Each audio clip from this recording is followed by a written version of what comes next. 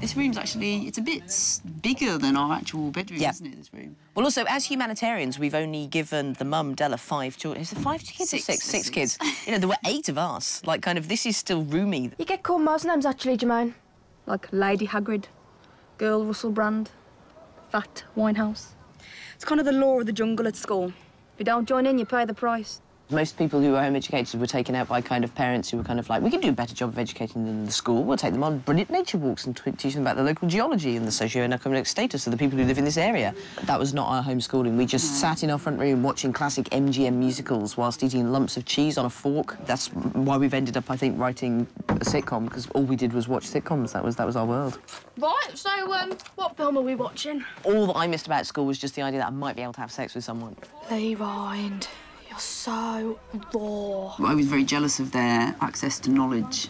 I used to get like college prospectuses and read uh, about like the GCSEs and, and what content would be in like GCSE history. I got the Bilston College prospectus. Hey. I got the Wolverhampton Adult Education College prospectus. I remember ringing up for the Bilston one, and I was so embarrassed to be making a phone call that I put on a Scottish accent. I based on Elspeth and Angus from the Family-Ness. Hello there, can I get a prospectus?